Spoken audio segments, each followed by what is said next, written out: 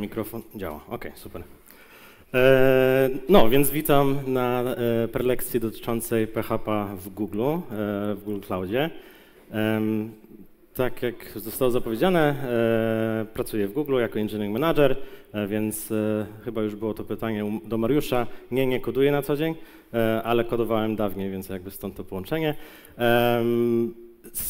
Głównie zajmuję się faktycznie Cloud Mobile, ale myślę, że tutaj ciekawsza część jest projekt Carbon Footprint, który też prowadzę E, i to jest taka analityka do śladu węglowego, węglowego e, czy użycia, e, czy no, w sensie efektu na, na CO2.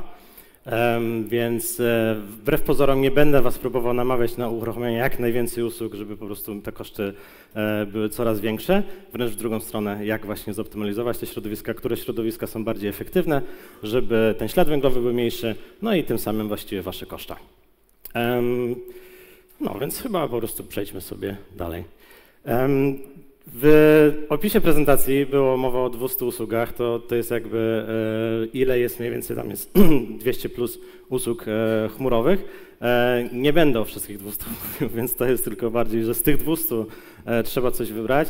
Oczywiście część usług to są no, różnego rodzaju usługi, nie wszystkie są podyktowane komputem, więc ja dzisiaj się skupię na tych usługach, które właśnie decydują, jakby powiązane są z językiem, czyli E, jeśli chcecie uruchomić PHP e, w chmurze właśnie Google'owej, to jakie usługi compute wybrać, żeby to w ogóle zadziałało. No i skupimy się dzisiaj na tych e, pięciu usługach, które są różne, mają różne ograniczenia, różne feature'y, więc przejdę po wszystkich po kolei, pokażę Wam, jakie mają mocne strony, jakie ewentualnie ograniczenia, do czego warto je używać, do czego być może nie. Będę też mówił o tym, jak współpracują, znaczy jak one razem ze sobą mogą współpracować.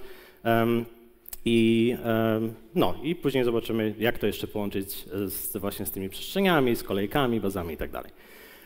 Tutaj kolejność, w jakich ich użyłem, to jest trochę tak, że na samej górze macie usługi, które są na, na, najwyższym poziomie abstrakcji, tak? czyli Cloud Functions jest jakby, to jest bardzo wysoka abstrakcja, w sensie nie macie e, właściwie e, jakby pracujecie głównie ze swoją aplikacją.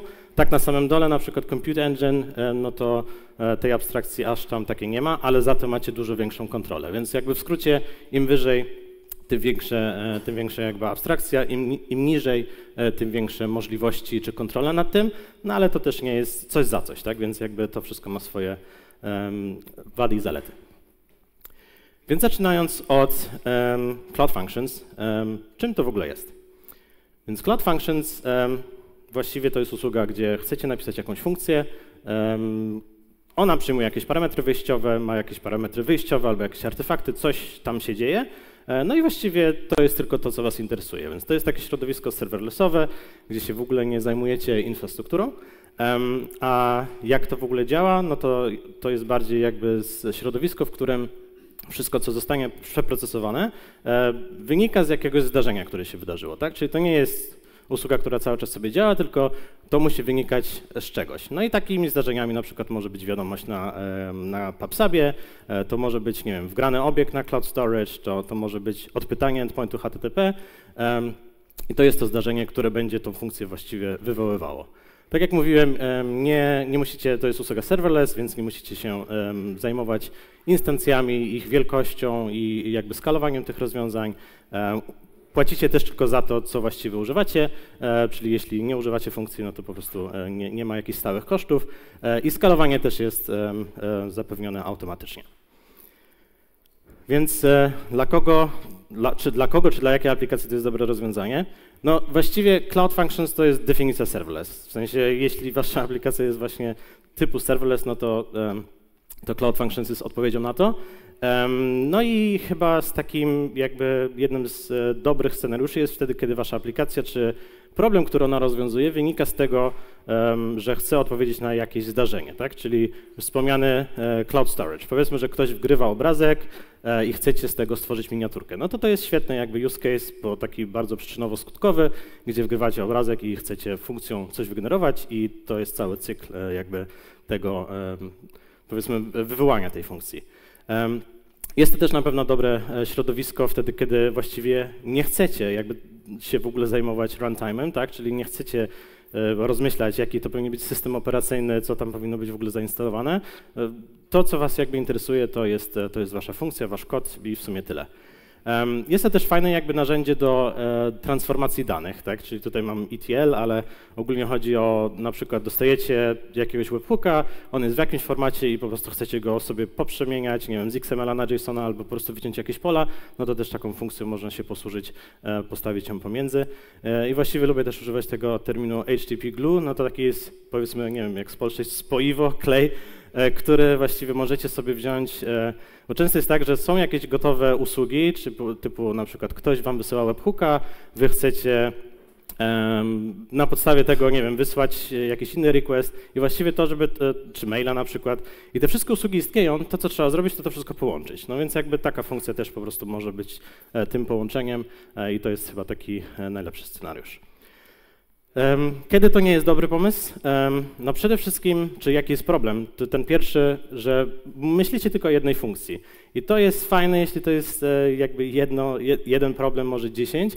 Jak macie tych celów biznesowych setki czy tysiące, no to robi się bałagan, bo jakby każda funkcja jest właściwie niezależna, e, nie, nie, do końca widać, jak one ze sobą będą współpracowały, to wszystko gdzieś tam musicie trzymać poza funkcją, tak? Więc e, dodaje to na pewno sporo e, skomplikowania na, na, na dużą skalę. Pewnym ograniczeniem w niektórych systemach może być to, że jakby wywołanie funkcji musi wynikać z eventu. Nie można po prostu mieć serwera, który cały czas działa, to musi być powiązany z jakimś eventem, więc nie wszystkie aplikacje znowu się w to wpisują. No i tutaj przechodząc konkretnie, jak to wygląda w świecie PHP-owym, um, PHP jest wspierane, inaczej bym pewnie o tej e, usłudze nie mówił, e, ale mamy konkretne wersje PHP. Tutaj akurat na ten moment e, te dwie, czyli 7.4.8.1. Niedługo jak wyjdzie 8.2, to pewnie będzie wspierane 8.2 i wtedy 8.1 pewnie już nie będzie dostępny. Więc to jest takie ograniczenie, z którym trzeba, trzeba mieć tego świadomość, bo nie zawsze będziecie mieli po prostu na to wpływ, na przykład, że będzie jakaś aktualizacja. Tak samo nie możecie do końca wybrać, jakie są moduły zainstalowane. Tak? To jest jedno środowisko wspólne i albo wam pasuje do waszej aplikacji, albo nie. No więc teraz szybko wam jeszcze chciałem pokazać, jak to się w ogóle tworzy, bo ogólnie e, z, z UI funkcje, wszystkie te usługi będziemy uruchamiać dzisiaj. Więc to, to, co tutaj zrobiłem, wszedłem w Cloud Functions, wybrałem sobie e, środowisko drugiej generacji, czyli to nowsze, tam po prawej stronie macie porównanie ewentualnie czym one się różnią, no ale w skrócie e, druga generacja jest po prostu lepsza, e, bo obsługuje więcej requestów na jednej instancji wywołania, e, ma więcej jakby tych eventów, które właśnie mo mogą to striggerować, no i właściwie też mogą dłużej działać, czyli na przykład aż do godziny właściwie taka funkcja może coś e, robić.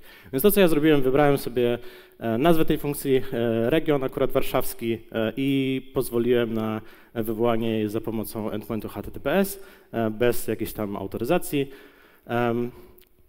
Przechodząc do drugiego kroku, są tylko dwa kroki tego, tak jak mówiłem, tutaj się skupiamy tylko na funkcji w waszym kodzie, więc właściwie robicie to inline, tak? Macie edytor inline, po lewej stronie wybieramy wersję PHP 8.1.7.4, to są inne runtime do innych języków. No i tworzymy tutaj akurat e, jakże skomplikowany skrypt PHP info. Tego, ten skrypt będę używał cały czas, w sensie ten e, jakby jako stronę, żeby tylko wam pokazać właściwie, że tak to działa. Po drugie, e, jakie środowisko tam powstanie, czyli na przykład czy jest to wersja tak jak 8.1, że nie mamy wpływu do końca, jaki to jest e, powiedzmy sub release, czy na przykład też będziemy używali release candidate'ów, które będą z kolei pokazywały, że mamy możliwość wgrania czegokolwiek. Jeśli wasza aplikacja jest bardziej złożona niż to, a pewnie jest, można też używać kompozera i dodawać więcej plików, e, ale wciąż to wszystko jest taką trochę paczką jakby kodu, którą wrzucacie i deployujecie. Klikamy deploy, no i e, jak widzicie, to się udało uruchomić. To, co dostajemy, to taki... Działa to? O, o tak, tu. E, dostajemy jakiś randomowy jakby prefiks e, w domenie run app z SSL-em, którego możemy sobie wywołać, no i tak mniej więcej działa to środowisko. Dobrze, przechodzimy dalej, jeden poziom niżej. Tak? Byliśmy na najwyższym poziomie abstrakcji, przechodzimy troszkę niżej, czyli um, więcej już nas interesuje, ale też mamy więcej możliwości. E, więc tym, tą usługą w, kolejnej, w kolejności właśnie jest App Engine. No i czym, czym jest App Engine? To jest e, popularnie znane też jako e, PaaS, czyli Platform as a Service, środowisko, które Wam pozwala na uruchomienie aplikacji. I tutaj już słowo aplikacja nabiera tego sensu, że to nie jest tylko funkcja, jakiś jeden skrypt, tylko mówimy bardziej o na przykład takim projekcie symfoniowym, gdzie jest i backend, i frontend, pliki statyczne, dynamiczne, więc to, to nazywam tą aplikacją. Więc to jest takie środowisko właśnie po to stworzone. Podobnie jak w Cloud Functions, wciąż nie interesują Was serwery, nie musicie nimi zarządzać, one się automatycznie skalują, bardzo szybko zresztą, e, bardzo szybko też się skalują w dół, aż do zera. To jest o tyle istotne, że jak wasza aplikacja powiedzmy nic nie robi, to też za nią nie płacicie. Więc jakieś, e, no może przejdziemy zaraz do use case'ów, ale wszystkie aplikacje, które mają taki zmienny ruch, na pewno mogą z tego skorzystać. Więc wciąż nie zajmujecie się e, aktualizacją systemu operacyjnego, czy w ogóle jakby tego typu rzeczami, a to, co dostajecie dodatkowo, przez to, że to jest aplikacja, jest więcej możliwości, to na przykład wersjonowanie, Zaraz pokażę, jak to działa. I traffic splitting, czyli właśnie można, można mieć kilka wersji aplikacji, a dodatkowo ruch kierować na kilka jednocześnie, żeby sobie coś testować. Um, dodałem, że to jest serverless before it was cool, e, bo właściwie App Engine to jest najstarsza usługa. E, to ona jeszcze powstała zanim był Google Cloud w ogóle, zanim powstał. E, więc, więc jest dość no, długo na rynku, ale też cały czas są dodawane nowe funkcjonalności. Więc e, dla kogo, czy dla jakiej aplikacji to jest e, dobre środowisko? E, no, aplikacje, które wciąż są takimi aplikacjami webowymi, czyli mamy ruch po HTTP, HTTPS i taki typowy request response, łącznie z plikami statycznymi, tak? Więc mamy tą część dynamiczną i statyczną. Przy czym tutaj, przy tym takim założeniu, że nasza aplikacja to jest taka aplikacja, która, która może się wyskalować i nie ma jakiegoś stanu, nie, tak? Bo nie można w tej akurat w App Engine utrzymywać, zapisywać danych na dysk tak bezpośrednio, ponieważ właśnie do, przechodząc do trzeciego punktu, przez to, że ona się automatycznie będzie skalowała na no, właściwie tyle instancji, ile, ile będzie potrzeba, Dlatego właściwie ten stan nie może być przechowywany. Są oczywiście możliwości rozszerzenia tego, czyli na przykład można sobie podpiąć bazę danych, tak, która stoi obok i jak najbardziej wtedy stan jako taki można trzymać. Tu mówię o stanie samej instancji aplikacji. No jakie są ograniczenia zatem? No przede wszystkim znowu mamy szerszy tym razem, ale wciąż ograniczony wybór e, środowisk PHP-owych czy wersji. E, mamy 8.1 i 7.4 tak jak poprzednio, dochodzą nam jeszcze 7.2 i 7.3 na ten moment. No i tak jak mówię, wyjdzie 8.2, to pewnie dojdzie jako 8.2, 8.1 zostanie e, i nawet jeszcze można uruchomić PHP 5.5, ale to jest App Engine takiej pierwszej generacji, on troszkę inaczej działa, ale jak ktoś bardzo chce, to, to wciąż jest taka możliwość. No i wciąż jednym z takich ograniczeń, które warto wspomnieć, to mówimy tylko o e, ruchu HTTP, HTTPS, no innych rzeczy e, na tym uruchomić nie można. Teraz szybko pokażę, jak to mniej więcej się tworzy. E, przechodzimy do App Engine jako, jako tutaj zakładki i właściwie to tyle, bo on nam tylko mówi, właściwie to musisz użyć command line'a, więc jakby, żeby tę aplikację stworzyć, wgrać. E, ja tutaj się posłużę e, jakby edytorem takim Cloud Shell, to jest e, usługa wbudowana w ogóle i darmowa dla każdego, dla każdego klienta Google Cloud. To jest takie środowisko, które ma wszystkie narzędzia, po prostu taki terminal, którego możecie używać z każdego miejsca, tak jakby potrzebujecie tylko dostęp do przeglądarki, żebyście nie musieli niektórych tych rzeczy ustawiać lokalnie. Więc, więc tu posłużę się tym przykładem i to jest akurat dość chyba małe, więc postaram się znowu troszkę najechać. To, co tu robię, e, to tworzę folder app, e, przechodzę do niego i tworzę dwa pliki. Jeden to jest index PHP z treścią PHP info, jakże oryginalną, a drugi plik, który dochodzi, to jest konfiguracyjne środowiska, API YAML e, i jedynym parametrem, który jest wymagany, tam można oczywiście więcej rzeczy definiować, jest właśnie wybór tego runtime'u, tak? Więc mówię tutaj, chcę mieć runtime PHP 8.1, no i wykonuję Google Cloud App Deploy, komendę, która jest zbudowana. E, i, i to środowisko się będzie tworzyło, więc po kilku chwilach ono jest gotowe i to, co dostaję, to adres URL znowu. Podobnie jak w Cloud Functions, mam po prostu środowisko gdzieś wystawione pod jakimś endpointem. No i tutaj właśnie widzicie, znowu jest PHP 8.1 e, i ta aplikacja, którą przed chwilą stworzyłem w terminalu. Mówię, znowu to jest tylko PHP Info, oczywiście może to być cały projekt symfoniowy z kompozerem i tak dalej. Tutaj dla odmiany dostajemy troszkę inny adres. E, pewnie nawet czasami może widzieliście w internecie, niektórzy zostają przy tych adresach w ogóle, e, appspots.com. E, i można go używać oczywiście, można też wgrać, znaczy podpiąć własną domenę i dostać własny certyfikat i tak dalej, więc tak tylko mówię, że jakby jest taka zależność, jakby jeśli chodzi o ten nazewnictwo czy domenę. Bo właśnie przechodząc dalej, to co chciałem wam jeszcze pokazać właśnie, jak łatwo się to modyfikuje, no więc zmieni, zmieńmy sobie wersję PHP na przykład, tak, więc to co, no co powiększę trochę, o, słabo widać. E, w każdym razie nadpisuję plik e, Apple YAM i teraz mówię, że runtime to jest PHP 7.4, e, deploy, no i za chwilę oczywiście ta wersja się wgrała, tutaj mamy 7.4.30 jako podmienioną, ta sama aplikacja. To, co się zadziało pod spodem, jest też dość ciekawe, więc chciałem tutaj chwilę jeszcze Wam o tym opowiedzieć. To Wspomniałem, że jest wersjonowanie, więc czym jest właściwie to wersjonowanie? To nie jest, no może być oczywiście jeden jeden z waszym powiedzmy pull requestem, z commitem, z jakby w ogóle z wersjonowaniem kodu, ale tak jak ja to zrobiłem z terminala, ja tam nawet nie mam wersjonowania jakiego, takiego kodu, to było po prostu ile razy ja wgrywałem nową aplikację i one są wtedy zachowywane jako takie snapshoty. Domyślnie, bez żadnych dodatkowych parametrów, zachowanie jest takie, że każda kolejna nowa aplikacja y, jest przepinana, cały ruch jest przepinany na nową wersję aplikacji, więc tak jak tutaj widzicie, najpierw e, była aplikacja na PHP 8, później była na 7, więc cały ruch trafił na e, aplikację na PHP 7. To, co jest ciekawe, to ta aplikacja na PHP 8 wciąż istnieje e, i można nawet się do niej dostać, klikając właśnie na, z tego, jakby z tego widoku na, na, na tą wersję i dostajemy poprzednią aplikację właściwie, bez jakby powrotu takiego oficjalnego. E, tym razem ona jest po prostu sprefiksowana e, nazewnictwem naszej wersji e, i jest pod takim tymczasowym adresem URL. To jest dość fajne, jeśli może ten scenariusz akurat był wręcz odwrotny, co wam intuicja podpowiada, bo można to oczywiście ten, ten ruch przepinać wtedy, kiedy wy chcecie. Więc na przykład takim powiedzmy dobrą praktyką mogłoby być, że macie kod aplikacji, wgrywacie nową wersję, nie przepinając ruchu, sami wchodzicie na nową wersję, spra sprawdzacie, czy wszystko jest OK i dopiero wtedy klientów tam puszczacie, tak? Więc to jest chyba taki e, na pewno fajny feature, który można wykorzystać. Dodatkowo Możecie też e, robić eksperymenty z tym ruchem, więc nie do końca jest to taki quality check, tylko chcecie na przykład e, sprawdzać performance tej aplikacji, czy no obojętnie, różne, różne rzeczy to już wasza kreatywność pewnie e, jest tutaj e, zasadnicza. Więc to, jak można ten e, ruch dzielić, jak mamy kilka rzeczy do dyspozycji. Przede wszystkim możemy go podzielić po adresie IP, więc po prostu modulo tego adresu będzie jakby dostanie jedną wersję, albo, a inny adres IP dostanie kolejną, czyli na przykład w biurze, jeśli jest jeden adres używany, to jakby całe biuro będzie miało jedną wersję, a inni użytkownicy inną. Można też używać ciasteczka. Opcja ciasteczka oznacza to, że jest, e, nazwa ciastka jest predefiniowana, wartość ustawiacie wy w aplikacji i to służy do tego, że wy możecie stwierdzić, nie wiem, chcę mieć grupę beta testerów. Jak wy ich wyznaczycie, no nie, nieważne, to już jest wasza logika, e, ale to, co to zrobi, no to będzie patrzyło na to ciastko i znowu aplikowało tą funkcję modulo do, do właśnie rozrzucania ruchu, ruchu.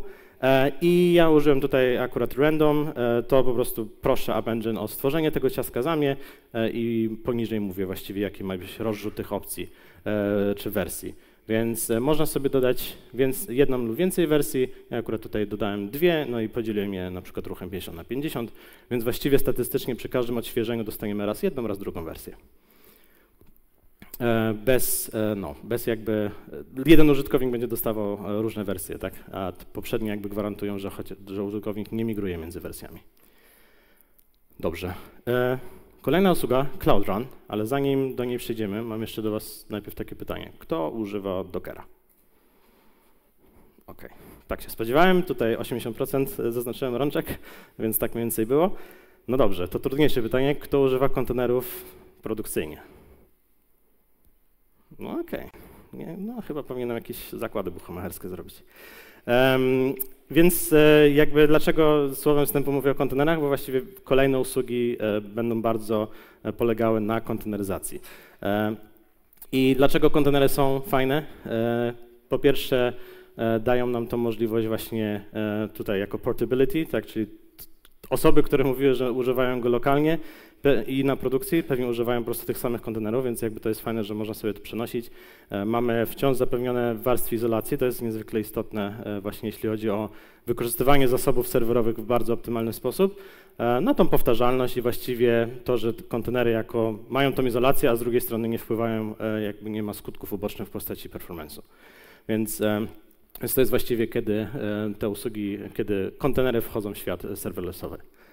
No i teraz wracając do usługi Cloud Run, to jest usługa, która ma bardzo prosty kontrakt. Ona mówi, daj mi kontener, która, e, daj mi kontener, który słucha na porcie i tutaj zmienna port, to jest zwykle 8080, ale jakby może to być zmienny, na requesty HTTP i ja ci to obsłużę. It. W sensie więcej nie trzeba robić przy tym. To, co dostaniemy, e, no to jest obsługa e, SSL-a, tak pod jakąś domeną, czy jakby no, SSL termination, jakby nie w kontenerze, tylko nad, nad nim. Jest też zapewnione to mapowanie, tak, czyli jak przychodzi request HTTP, no to on wie, gdzie pójść, gdzie są te kontenery, ile jest tych instancji.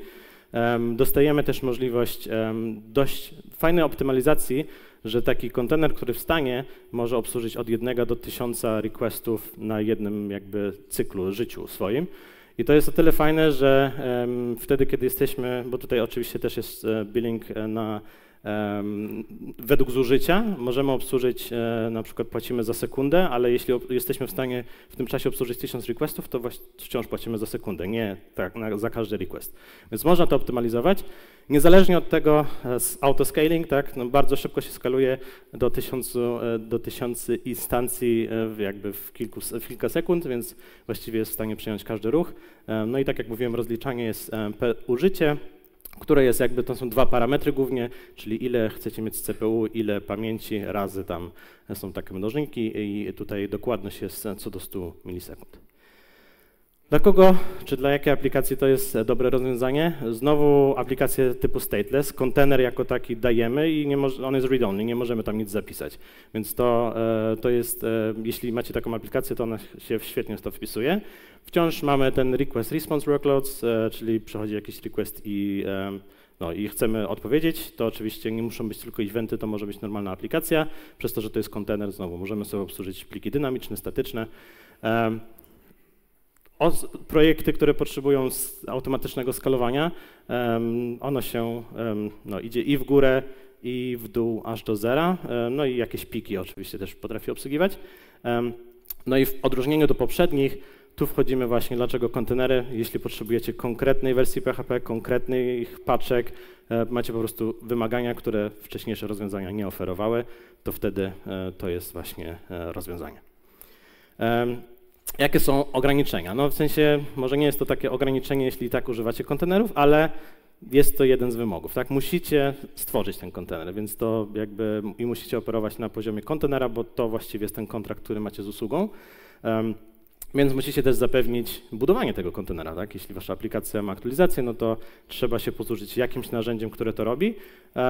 Cloud Build jest jednym z takich tuli google'owych, jakby wewnętrznych, e, bardzo fajne zresztą i, i, proste w użyciu, ale to może być cokolwiek. Tak? Macie Docker Huba, macie, nie wiem, e, GitHub ma swoje um, artefakty, nie, jak to się nazywa, packaging, tam, no w każdym razie ma też swoje rozwiązania, jak najbardziej można tam e, tego też używać. Koniec końców chcemy podać repozytorium um, właśnie z kontenerem. No i wciąż nie mamy jakby local storage, tak? W sensie on, ono jest, temp jakiś jest, ale właściwie stanu nie będziemy mogli sobie tam przytrzymać. Jak się tworzy taki serwis? E, tutaj przez to, że już mamy ten Docker file, nie chciałem tego robić e, w command line aż tak, e, więc chciałem wam przy okazji pokazać, jak fajnie można sobie to zautomatyzować. Więc stworzyłem sobie repozytorium na GitHubie, no po prostu php.con, który ma aż dwa pliki. E, jeden to jest ten już, e, jak widzicie, bardzo rozbudowany PHP Info, a drugi to jest Dockerfile, no, w którym może być mało albo dużo, zależy co tam chcecie. Chyba nie mam slajdu z nim, ale on jest po prostu, bierze najnowszą wersję PHP. I dlaczego to jest fajne? Bo jakby to sobie podałem jako źródło i teraz za każdym razem, jeśli ja na przykład tu wrzucę coś na maina, to się buduje nowy obraz i jest podmieniany automatycznie. Pokazuje e, stronę błędu, nie dlatego, że to nie działa, e, tylko to jest akurat fajny feature, który dostajecie od razu adres e, do tego właśnie środowiska i w trakcie, kiedy to się jeszcze buduje, to to jest taka zaślepka, która mówi, że na razie coś jeszcze czekasz. I tak samo można to wykorzystywać na powiedzmy inne swoje stany, jeśli, jeśli chcecie na przykład wrzucać zaślepki, bo, no, bo, chcecie jakby nową wersję wydeployować. Oczywiście to jest bardzo, bardziej jako opcja, one się zastępują e, jakby e, e, atomowo, więc nie trzeba takich rzeczy wrzucać. No i tutaj chyba po raz pierwszy właściwie mamy now, inną wersję PHP, tu akurat RC4, tak wiem, że już jest piątka, ale screenshoty robiłem tydzień temu, więc po prostu za każdym razem to się będzie budowało nad tym, z czym chcemy. Tu, to, co chciałem tutaj pokazać, no to to, że właściwie mamy pełną kontrolę nad tym, co uruchamiamy, bo no, skoro większość z Was używa Dockera, to wiecie, że możecie właściwie tam zrobić wszystko. Tutaj jeszcze widok już po e, zdeployowaniu, więc trochę podobnie jak e, w App Engine mamy ten placeholder, który był na początku wgrany, później mamy swoją aktualną wersję aplikacji. Możemy tak samo zarządzać tym ruchem, przepinać się z wersji na wersję e, i robić traffic split.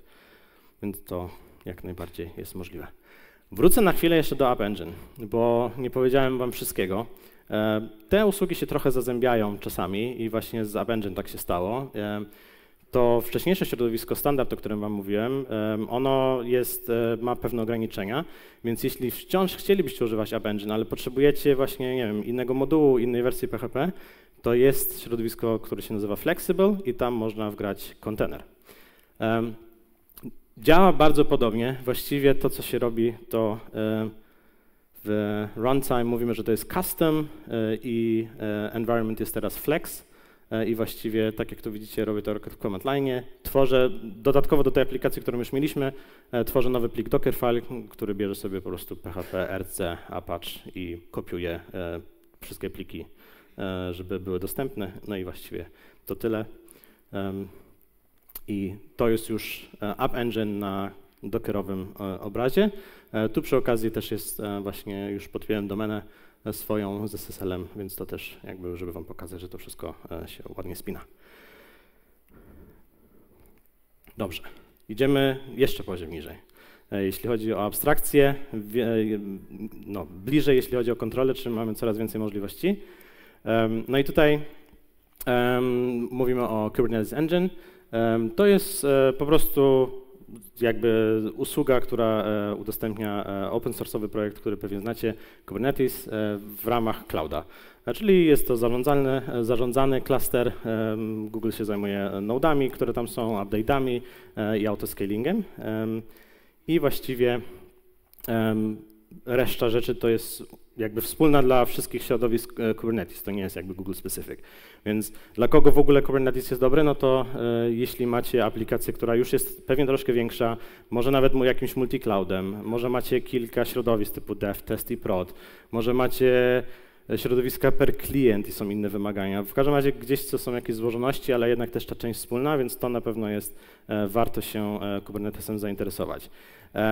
No, Kubernetes właściwie też powstał po to, żeby rozwiązać problem czy challenge zarządzania kontenerami, więc jakby tu w pełni z tego korzystamy, no bo jakby to jest de facto standard i narzędzie, które po to powstało. Jest też chyba fajnym e, rozwiązaniem, jeśli właśnie zespół już jest trochę większy e, i forma no, komunikacji, mówię takiej w sumie nawet od strony kodu, gdzie na przykład przychodzi ktoś z security, chce zrobić patcha, no i właściwie on będzie to ta osoba będzie edytowała to w tym samym miejscu, e, gdzie wy wprowadzacie konfigurację, więc też na przykład poprawi środowisko devowe, nie jest to jakieś tam oderwane od siebie.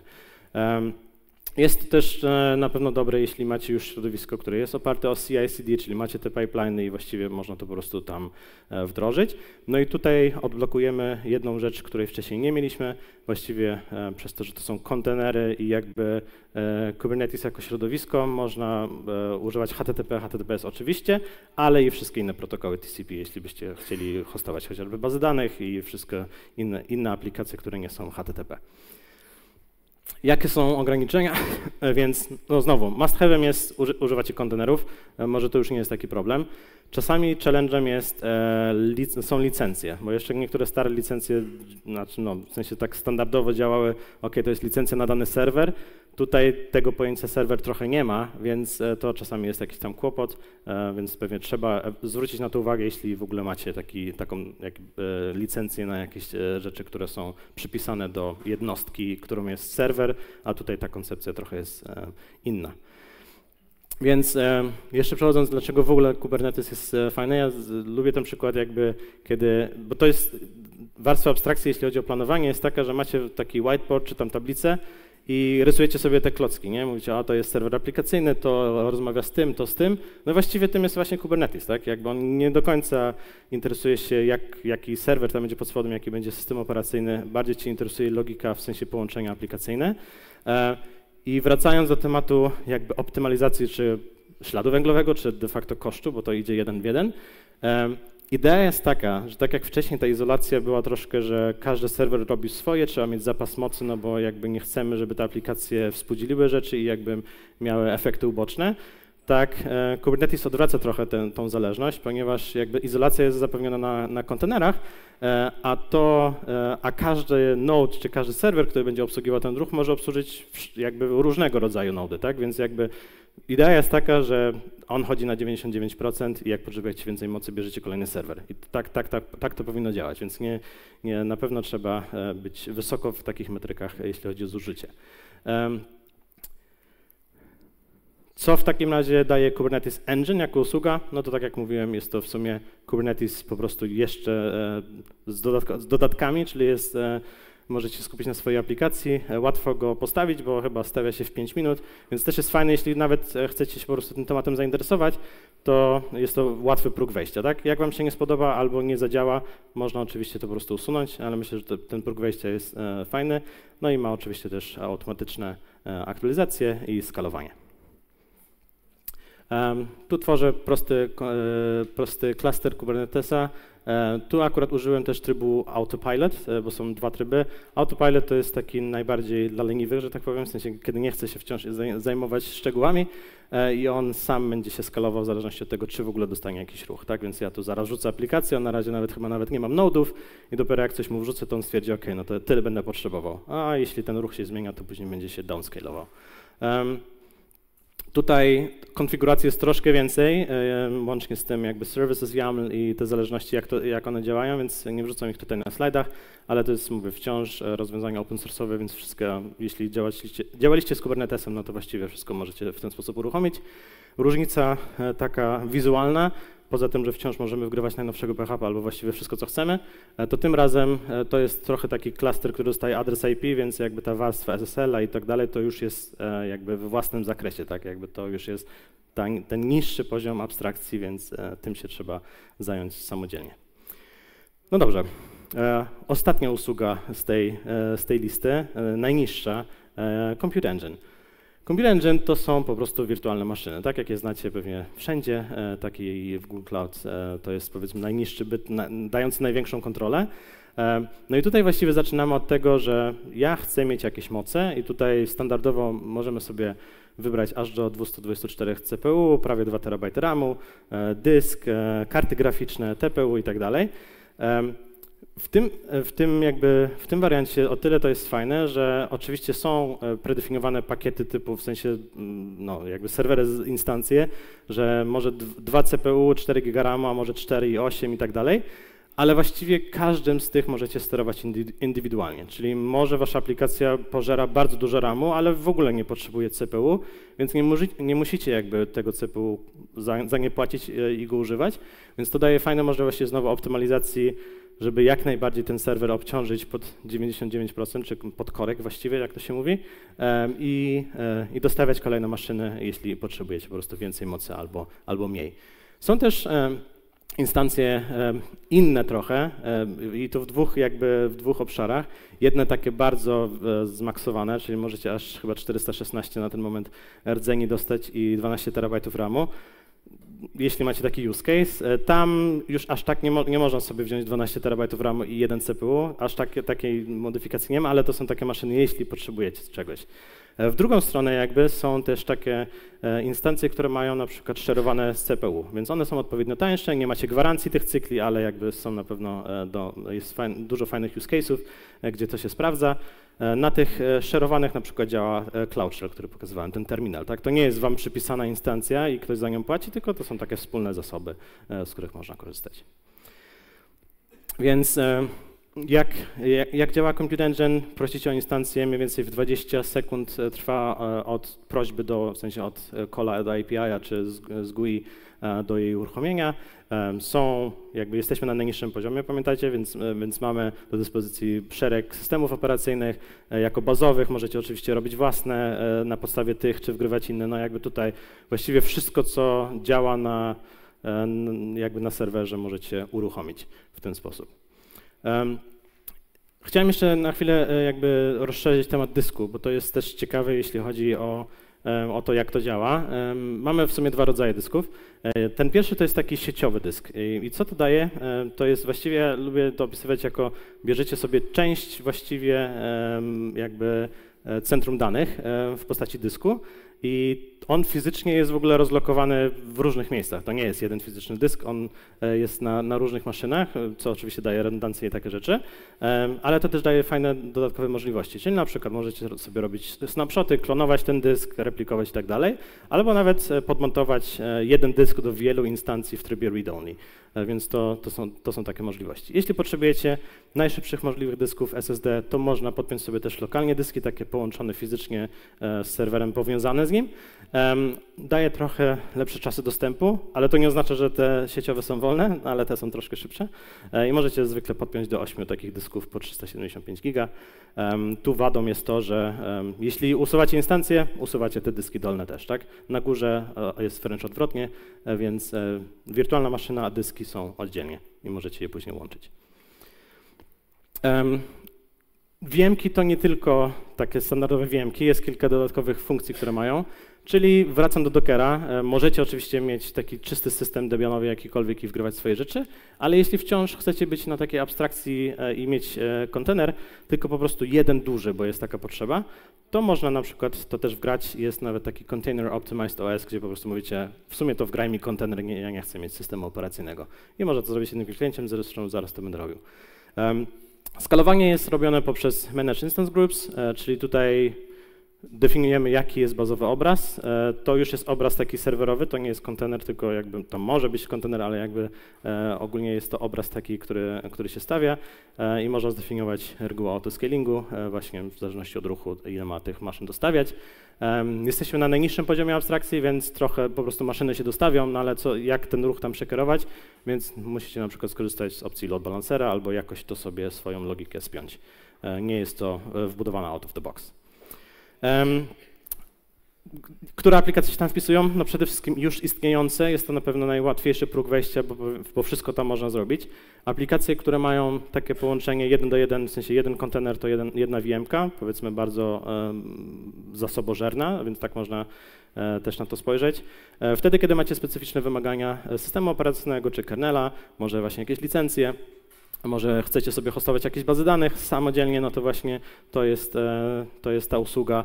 Właściwie usługi e, Google Cloud, e, właśnie Cloud SQL, czyli to są zarządzalne bazy danych, one korzystają z tej usługi same, tak pod spodem, więc to, to, to, więc to samo wy też możecie zrobić ze swoją aplikacją.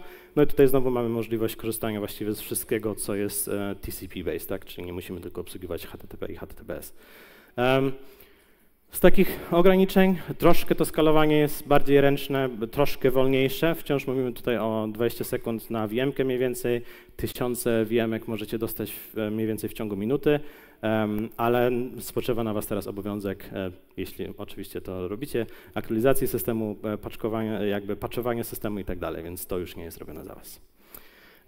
No dobrze, stwórzmy sobie tą vm daję nazwę, wybieram region, typ jakiś sobie wybieram, tak, i um, tak jak mówiłem tutaj akurat skorzystam sobie z tego, że mogę wgrać obraz kontenerowy, więc po prostu wykorzystam sobie to, co używałem na poprzednich slajdach. Um, po kilku sekundach to się pojawia, dostaję publiczny adres IP, który został przydzielony, no i mogę sobie na tą instancję wejść i znowu, jak widzicie, mam te wszystkie rzeczy. Dobrze. Przeszliśmy przez te wszystkie usługi. E, to jest taki jeszcze raz e, widok e, z góry, jakby na, na wszystkie i jakby z podziałem. Czyli tak, dwie pierwsze to są usługi, które są fajne, kiedy chcecie się skupić na swoim kodzie i właściwie nic więcej. Nie chcecie wiedzieć, co to są, co robią, jak, jak te serwery są skalowane, co tam się pod spodem dzieje. Pierwsza bardziej event-driven, tak, czyli macie jakieś zdarzenie, druga bardziej takie typowe aplikacje webowe z frontendem, backendem. Później mamy kontenery, wtedy kiedy potrzebujecie specyficznych, powiedzmy, wersji PHP, po prostu chcecie mieć większą kontrolę. No i tutaj Cloud Run i Kubernetes Engine na pewno są dobrym kandydatem.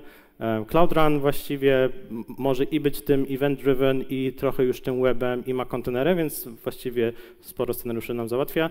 Kubernetes Engine no to, to jest tylko konteneryzacja, no i takie większe środowisko.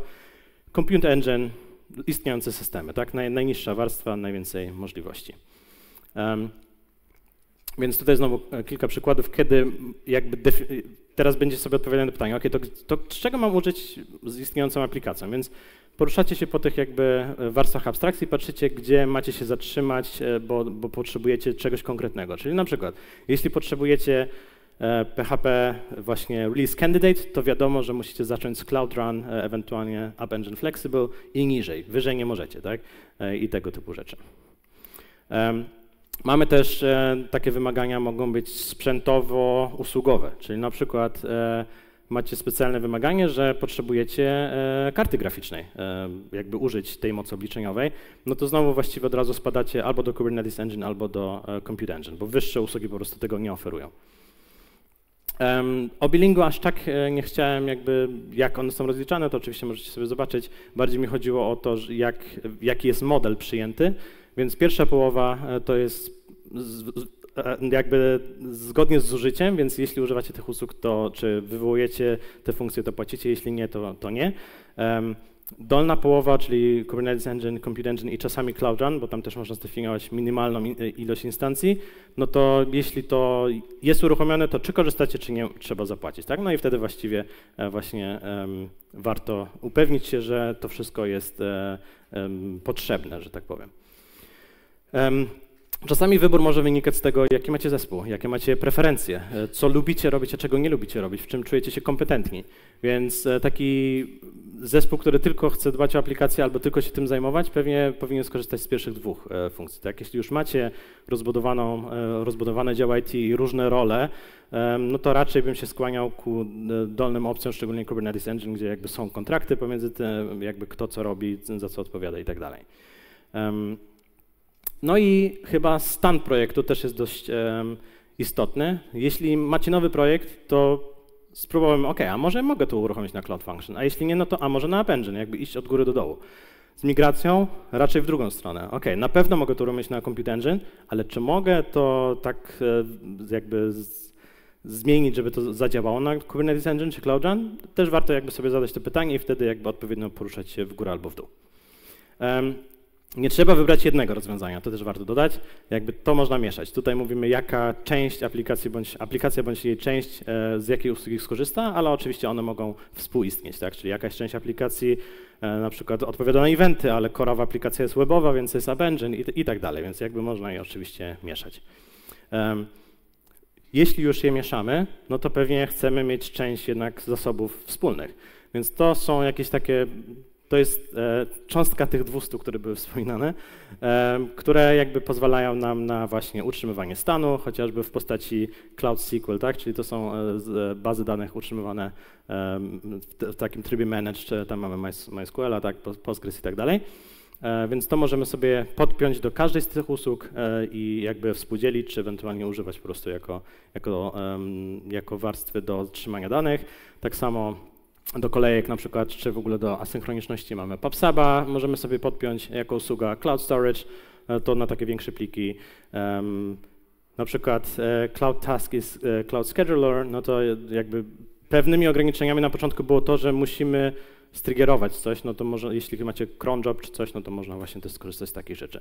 No plus jakby masa innych API właściwie, z których możecie skorzystać. Um, I można też, jakby warto rozważyć poruszanie się, jak już raz wybierzecie aplikację, macie już aplikację, jesteście gdzieś e, na, e, na którejś usłudze, że może z czasem będziecie chcieli zmienić, bo już niektóre ograniczenia są nieaktualne. Um, więc jeszcze raz, podsumowując, mamy pięć usług e, e, chmurowych. E, na wszystkich tych, jak widzieliście, można uruchomić PHP e, z różnymi zaletami albo ograniczeniami. Tutaj takie po prawej stronie typowe use cases, y, kiedy, y, kiedy warto wybrać którą usługę i po lewej jakby na czym się skupiacie um, używając ich. Um, I to tyle.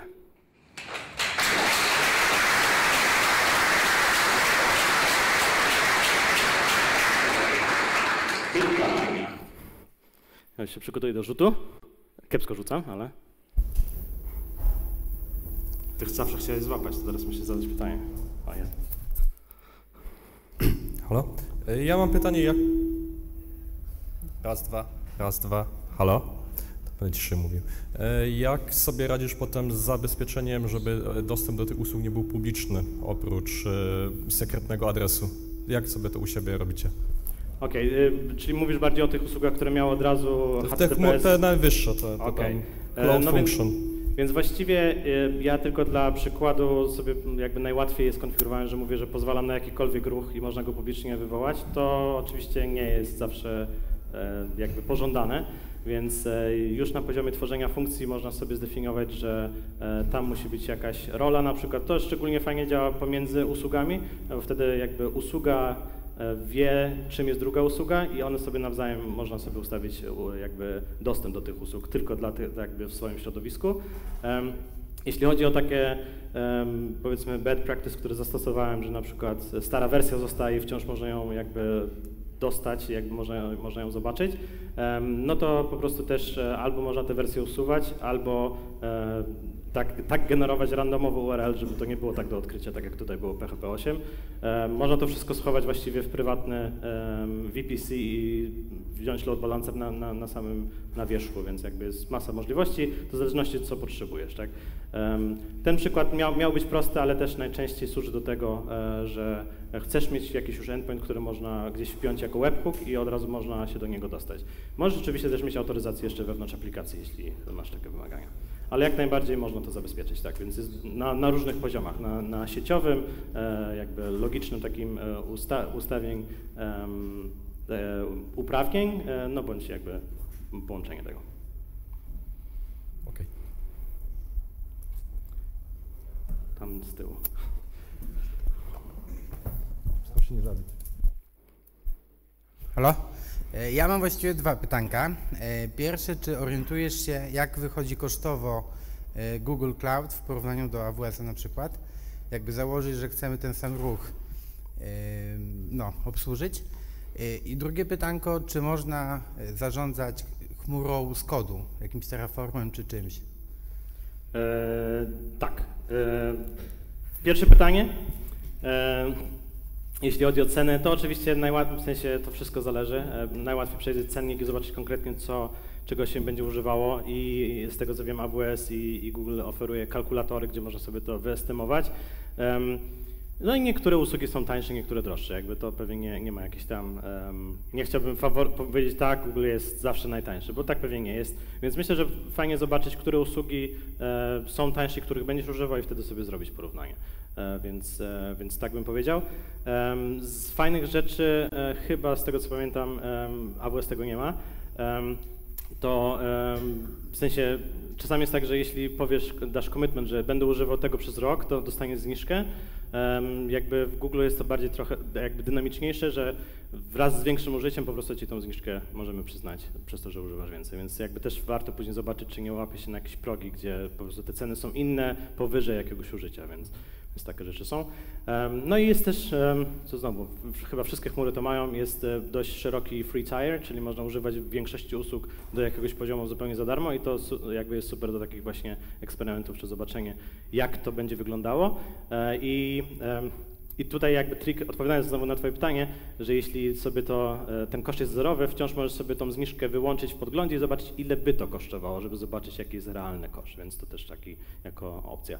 Jeśli chodzi o em, narzędzia, to oczywiście jest Terraform, jest G-Cloud, e, oficjalnie jakby terminal e, do, do wszystkich operacji. Wszystkie usługi, w sensie wszystkie usługi, które tworzymy, to jest API first, więc jakby w ogóle nie ma możliwości, żeby coś powstało bez API, więc oczywiście można zarządzać tym nie z GUI, to jest po prostu łatwiejsze do prezentacji. Pytanko. E, wspomniałeś, że można puszczać kontenery na Applesign Flex i na tym drugiej usłudze, nie pamiętam. Standard. I to w takim razie na której? E, Okej, mówisz, że, App Engine Flexible albo Tak. e, Cloud Run jako kontenery, tak? Em, to zależy, znowu. Cięż, ciężko odpowiedzieć, wiecie, tak, że nie, to na pewno zawsze tutaj, no bo jakby nie istniałyby te dwie usługi, gdyby to było to samo. Em, Więc wydaje mi się, że App Engine będzie wciąż lepszy, jeśli po pierwsze poruszasz, masz inne aplikacje, które nie potrzebują kontenerów i po prostu jedna z nich wymaga, no to cały czas żyjesz App Engine'em, tak? Wiesz, jak to działa i jakby jest to wszystko tak samo. Jeśli z kolei wszystko masz w Cloud Runie, no to pewnie bym tam to zostawił. E, App Engine ma kilka też dodatkowych takich gratisów, że tak powiem, e, które Cloud Run nie ma. Cloud Run to daje ci kontenery i wszystkie inne usługi sobie dokupujesz albo dobierasz. W App Engine jest kilka rzeczy wbudowanych, e, na przykład jest dostęp do memcache'a takiego share'owanego. Tam nie, może nie jest na duży workload, ale zawsze ułatwia taki, takie małe aplikacje. Czy mm, co tam jeszcze z takich. No w każdym razie jest kilka takich feature'ów, które je odróżnia, ale faktycznie App Engine Flexible z CrowdRunem jest bardzo podobny, jeśli chodzi o feature set i tutaj znowu z ciekawostek właściwie to działa na tym samym stacku, więc stąd.